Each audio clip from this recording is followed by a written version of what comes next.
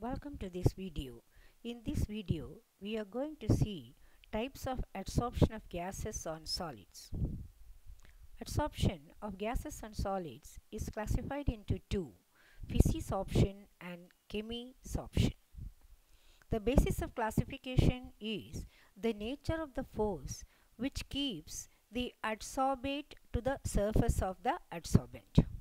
In physisorption, it is weak force that binds the adsorbate to the adsorbent and that force is van der Waals force.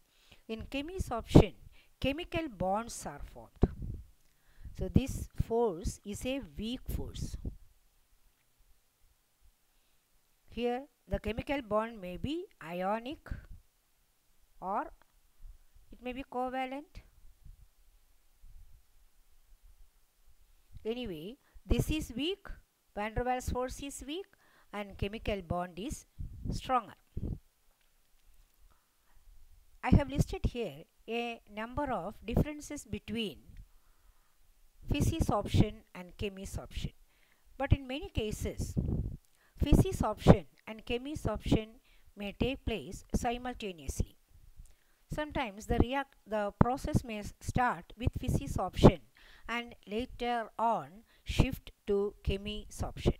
We will see one example adsorption of hydrogen on the surface of nickel. Initially, it is physisorption. Later on, it becomes chemisorption. Initially, what happens? The dihydrogen sticks to the surface of nickel and that gets converted into atomic hydrogen. The molecular hydrogen becomes converted to atomic hydrogen. Later on, the process proceeds by chemisorption. So, it is possible certain certain processes may take place where physisorption and chemisorption may take place simultaneously. Let us see the differences between physisorption and chemisorption. I have already prepared a representation here so that we can save some time. We will add the necessary points wherever it is necessary. The first difference is the difference with reference to the nature of the force that is already discussed. The second difference is it has no specificity. physisorption has no specificity. What does it mean? Any almost any gas may adsorb by physisorption hydrogen, carbon monoxide, ammonia, sulfur dioxide and the like may adsorb by physisorption. Why there is no specificity? The reason is the force which binds the adsorbate to the adsorbent is very weak force that is van der Waals force. So almost anything can attach by that force. It is the van der Waals force is really intermolecular force of attraction. Here it is highly specific. Why it is highly specific? Because chemical bonds are involved. So only those substances which can enter into a chemical bond with the surface of the adsorbent can get attached here. So this is highly specific. Though this has physisorption has no specificity, it depends upon the third difference. It depends upon the nature of the adsorbate. Which nature is considered? The nature considered is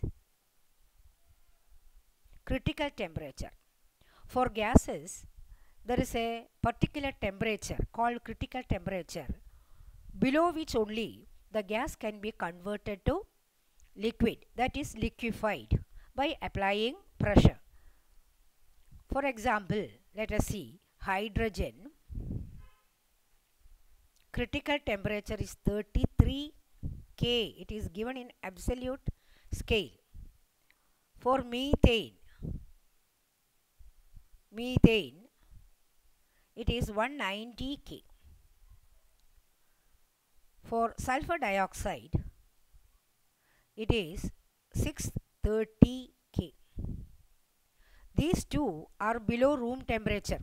In absolute scale, room temperature is 295 K. So, this is much below the room temperature. So, these two gases have to be cooled further to a great extent in order to convert that into a liquid by applying pressure. Not so in the case of sulfur dioxide. The critical temperature has much higher value than the room temperature. So, at the room temperature it can be easily compressed by applying pressure and it can be liquefied.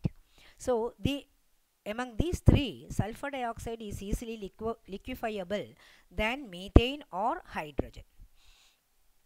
So, by nature of adsorbate we understand that those gases which are more easy to be liquefied that is more easily liquefiable gases can be adsorbed faster than the other. So, among these sulfur dioxide adsorbs faster than methane or hydrogen.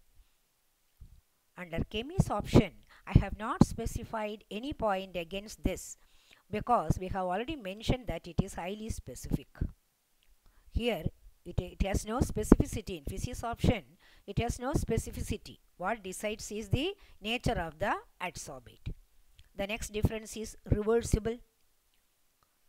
The physisorption can be is reversible. The process can be reversed, but here it is irreversible. What do you mean by it is reversible? The solid and the gas forms solid interface gas along with a certain amount of heat that is generated. But that can be reversed in the case of physisorption, but not so in the case of chemisorption. Once it is adsorbed means it is permanent. It, it is not reversible. Both physisorption and chemisorption increases with increase in area of the adsorbent. Adsorbent area is more, more quantity can be adsorbed. This is true for both cases. For physisorption, as the force is a weak force, enthalpy change, how do you represent that? Enthalpy change, delta H is very low when compared with that of chemisorption. What do you mean by low enthalpy and high enthalpy? In both cases, it is also it is a uh, spontaneous process and delta H here it is an exothermic process so delta H has to be negative it is negative. Here it is less negative and here it is more negative. That is what is meant here. Now the favorable temperature for physisorption is low temperature. Physisorption takes place faster at lower temperature. That is the favorable temperature. But for chemisorption high temperature is favorable. So the process is slow at low temperature. The reason is chemical bonds have to be formed. So it requires lot of energy. That is why. Now with reference to pressure. High pressure favors both physisorption and chemisorption. During physisorption multimolecular layer of the adsorbate may get attached to the surface of the adsorbent. Whereas here it is only unimolecular layer. Why it is so? Because the bond has to be formed. Physisorption needs no activation energy. Because chemical bonds are not formed it is again only van der Waals force. But here in the case of chemisorption it needs activation energy. That also is the reason why uh, in chemisorption the enthalpy change is more. Here it is more high. So these are a few differences between physisorption and chemisorption. Now we will see one topic desorption. What is desorption? The adsorbate which has adsorbed onto the surface of the adsorbent can be removed by suitable process. That process or that procedure is called desorption. So, by desorption we mean removal of the adsorbate from the surface of the adsorbent. Adsorption is a very important process. It finds use in many processes. So, it has large number of practical applications. Let us see a few practical applications of adsorption. Powdered charcoal can be used to create vacuum. when powdered charcoal is added to a system, the air present in the system can adsorb onto the surface of charcoal and get removed. That means it becomes a vacuum. This is charcoal. Use of charcoal. Charcoal adsorbs various gas gaseous substances that was mentioned earlier. Now it finds use in gas masks. Workers who work in coal mines, coal mines, use gas masks to protect themselves. Deep under the mines, there may be poisonous gases present. The poisonous gases will be adsorbed by the mixture of adsorbents present in gas masks. Substances like silica gel is used for controlling humidity because it has the capacity to absorb water, moisture from the air. Animal charcoal we have already seen. Animal charcoal can decolorize or remove the colored impurities from many substances. It is used especially in manufacture of sugar. Adsorption finds use in heterogeneous catalysis that we will be dealing shortly.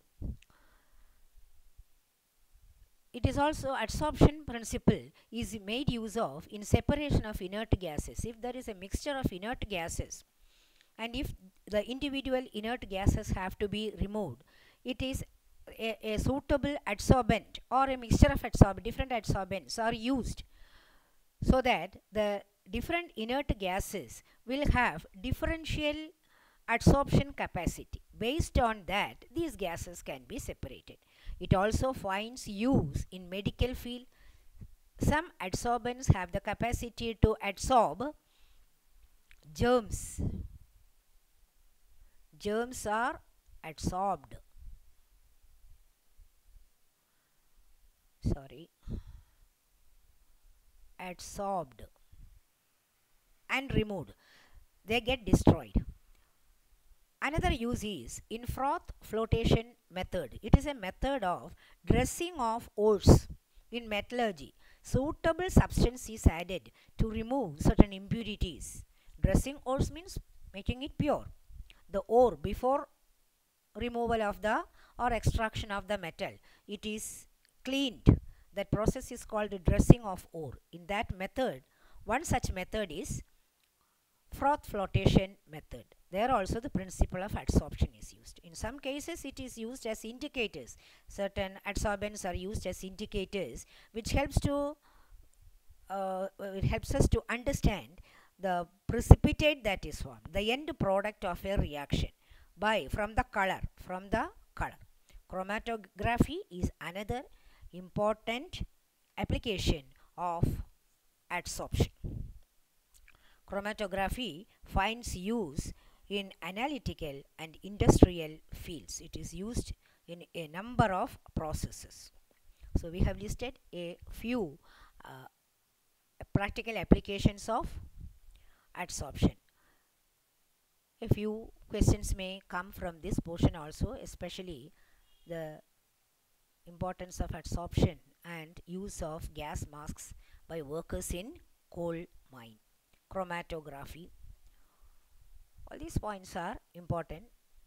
Questions may arise asking you uh, to give which substance is used in which situation or what is the role of adsorption in particular process. So, I hope you have understood this, this portion well and will be able to answer the questions related to this topic. Thank you. In the next video, we will see adsorption isotherms.